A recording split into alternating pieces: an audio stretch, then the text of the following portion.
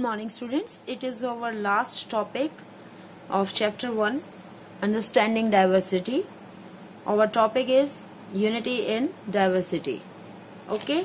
यानी कि अनेकता में एकता ये जो है हमारा लास्ट टॉपिक है बेटा फ़र्स्ट चैप्टर का India's diversity has always been recognised as a source of its strength यानी कि जो हमारी विभिन्नता है जो हमारी विभिन्नता है उसको हमेशा कैसे देखा गया है? भारत की ताकत के रूप में देखा गया है। Okay when the British ruled India आप सबको पता है कि ब्रिटिशर्स ने जो है इंडिया पर रूल किया था ओके okay? तो when the British ruled India women and men from different cultural, religious and regional backgrounds come together to oppose them. India's freedom movement had thousands of people of different backgrounds in it. जो India का जो freedom movement था, यानी कि जो आज़ादी का हमारा आंदोलन था, उसमें बहुत सारे लोगों ने भाग लिया, बहुत सारे पुरुषों ने, महिलाओं ने भाग लिया, जो अलग अलग धर्म और भाषा और क्षेत्र से संबंध रखते थे ओके इसके बाद आगे कहते हैं कि दे वर्क टुगेदर उन सबने एक साथ काम किया टू डिसाइड ज्वाइंट एक्शंस और उन सबने जो है अंग्रेज़ों के खिलाफ लड़ा, मिल करके एक लड़ाई लड़ी।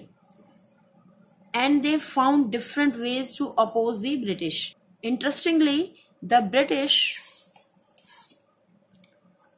thought that they could divide Indians because they were so different and then continue to rule them but the people shown how they could be different and yet be united in their battle against the British.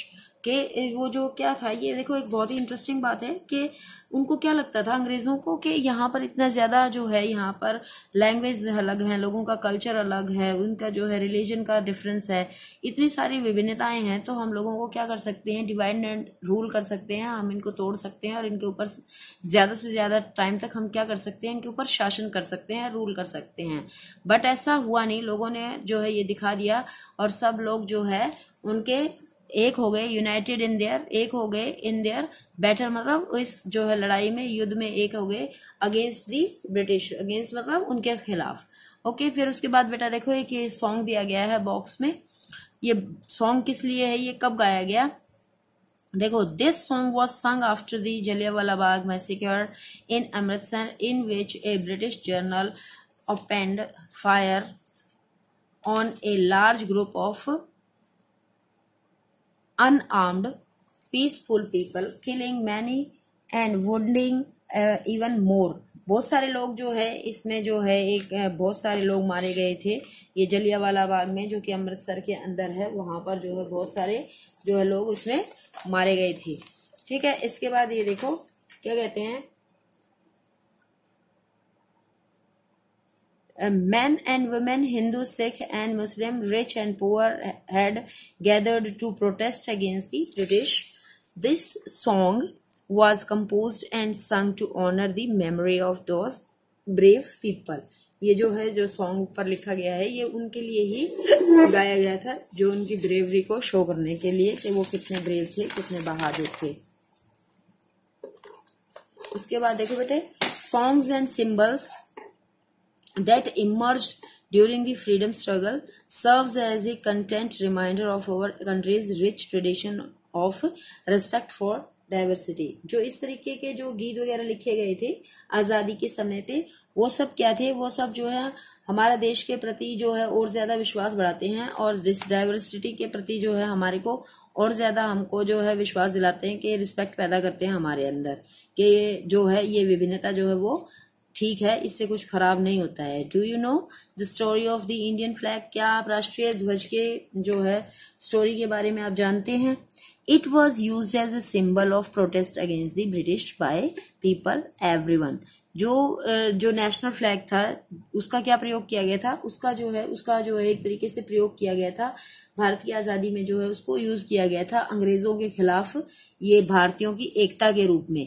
ठीक है? उसके बाद देखो in this book the discovery of India Jawaharlal Nehru says that India unity is Indian unity is not something impose from the outside but rather it was something deeper and within its fold कहते हैं कि जो हमारे जवाहरलाल नेहरू थे, उन्होंने अपनी एक बहुत ही फ़ेमस बुक लिखी थी डिस्कवरी ऑफ़ इंडिया ओके तो जवाहरलाल नेहरू जी ने जो है, जो बुक लिखी थी डिस्कवरी ऑफ़ इंडिया उसमें उन्होंने बहुत अच्छे से ये बात कहा है कि ये जो एकता है, वो कोई बाहर से थोपी हुई इम्पोज मतलब होता है, थोपी हुई। ठीक है, कोई इम्पोज नहीं की हुई है, ज़बरदस्ती जो है उन पर थोपी नहीं गई है फ्रॉम दी आउटसाइड बाहर की तरफ़ से बट रादर जब, परंतु जबकि ये कैसी है इट वॉज़ समथिंग डीपर जो बहुत गहराई से, यानी कि दिल, इसका संबंध किससे है? हमारे अंदर से है वेदन इट्स फोल्ड ये हमारे अंदर से आई है। इसके अंदर अलग अलग तरह के विश्वास और प्रथाओं को स्वीकार करने की भावना है। It was something deeper and within its fold the widest tolerance of belief tolerance मतलब होता है सहन करने की शक्ति। वाइडेस्ट uh, मतलब बहुत ज़्यादा belief and customs was practised and every variety acknowledge and when encourage it was Nehru who coined the phrase unity in diversity तो ये भी एक क्वेश्चन बन जाता है बेटा कि who coined the phrase unity in diversity तो Nehru ji, Jawaharlal Nehru ji was coined the phrase unity in diversity okay? इस तरीके से जो है ये चैप्टर आपका कंप्लीट होता है। इस चैप्टर में देखो, ये एक छोटा सा बॉक्स भी दिया गया है। ये भी कभी कभी जो है one one line question answers के अंदर आ जाता है वन मार्क्स के लिए आ जाता है। इसमें क्या लिखा है बेटा, देखो कि India's national anthem compose by Rabindranath Tagore is another expression of the unity of India in in what way does the national anthem describe this unity देखो, इसमें क्या कहते हैं, ये कि ये यूँ बता रहे कि जो हमारा राष्ट्रीय गान है, जो आप सुबह मॉर्निंग असेंबली में सब गाते हैं, वो किसने कंपोज किया है, किसने लिखा है, वो रविंद्रनाथ टैगोर ने लिखा है, ठीक है? तो वो जो हमारा नेशनल फ्लैग इधर बताया गया है, उसके बाद ये नेशनल एंथम बताया, ये एंथम बताया गया जो तो ये नेशनल एंथम किस चीज़ का है, दोनों सिंबल किस चीज़ के हैं, ये हमारे जो है यूनिटी के सिंबल हैं, ये हमारे नेशनलिटी के सिंबल हैं, जो हमारे जो हमारा जो फ्रीडम मूवमेंट था, उसके अंदर इन्होंने बहुत ही जो है इम्पोर्टेंट इनका जो है रोल रहा है। ठीक है, इसके बारे में बताया गया है। तो इस तरीके से ये लेसन हमको जो है इन द एंड हम क्या समझे हैं कि ये जो हमारी जितनी भी डाइवर्सिटीज हैं, वो हमारे लिए क्या हैं, वो हमको यूनिटी में लाने वाली हैं। तो ये डाइवर्सिटीज हमारे लिए जो है, इनको अंडरस्टैंड करना बहुत ज़्यादा ज़रूरी है, इनको समझना बहुत ज़्यादा ज़रूरी है, लेकिन इनके अकॉर्डिंग जो है हमको बिहेव नहीं करना है। हमको बिहेव क्या करना है? हमको जो है यूनाइटेड रहना है यूनिटी में रहना है और उसके अकॉर्डिंग ही बिहेव करना है। इन लास्ट जो है, हम क्या कह सकते हैं? Unity in diversity is a real phrase given by Nehru ji. Okay thank you I think आपको सबको अच्छा लगा होगा, समझ में आया होगा। Thank you all of you